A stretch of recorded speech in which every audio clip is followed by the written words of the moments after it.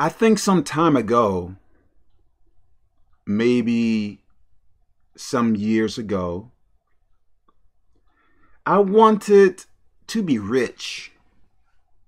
I wanted to have, I guess, a lot of money.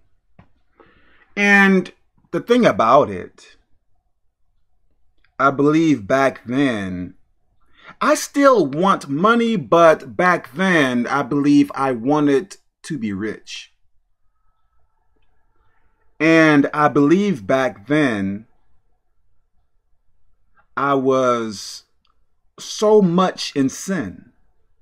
So if I was rich back then, I probably would have been so much more evil. I believe the money would have encouraged me, or what word can I use? I believe the money could have given me, I guess, more ability to become more evil.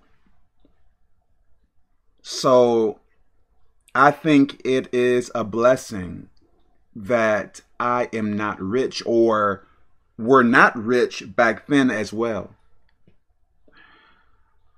And now, yes, I want more money, but at the same time, I believe I am learning, and I think this is true. Where God places me, or should I say where I am now, maybe I should say where God places me. I believe He places me there to influence other people in the things of God. Do you understand what I am trying to say? So, wherever I go, I believe in, I think much of the time, wherever I go,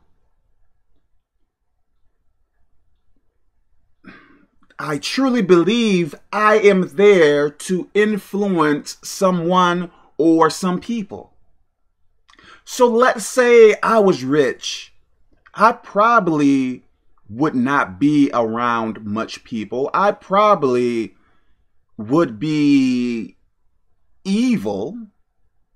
So, with how my life is now, where I am not rich, and how things are now, I believe God is able to use me probably in a better way now than maybe. How am I saying that? I guess with how I am now, probably God can use me more now with how things are for me now than how it would be if I was rich. Do you understand what I am trying to say to you? Think about this too. If you were rich, maybe you wish you were rich now. If you were rich, you probably would not even consider God you probably would not even think much about Jesus Christ. Probably you would be on your way to hell now or so much more. So, if you think about it, it is probably a blessing that you aren't rich, right? Some people may say, Kevin, my only problem is not having enough money. No, I don't think so.